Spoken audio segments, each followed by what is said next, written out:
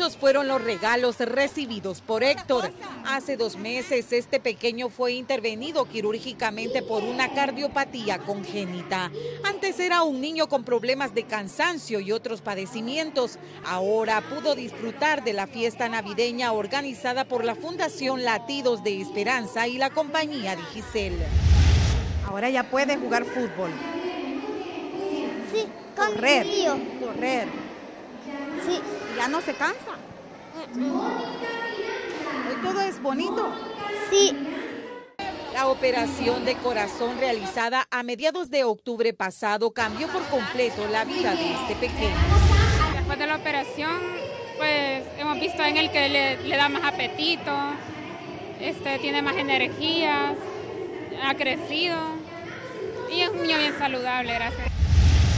Pues sí, si un niño, un, niño sufre, también uno sufre. Entonces ahorita yo me siento muy contenta y agradecida con la fundación. Héctor se unió a unos 200 menores operados del corazón que tuvieron un encuentro con Santa Claus y otros personajes.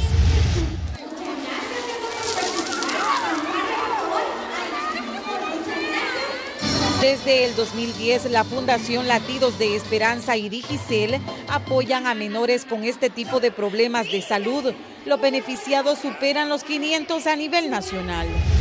Desde el 2010 que inició el programa de la Fundación, hemos ayudado a 600 niños. Y mensualmente trabajamos en diferentes actividades con ellos.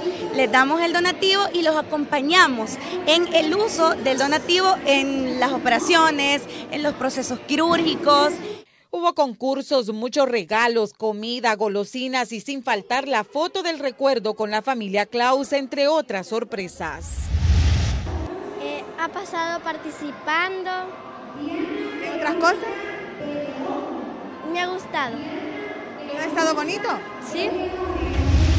Jugando y ganando premios. Sí, muchos regalos. Sí. Este tipo de encuentro también sirve para monitorear su buen desarrollo.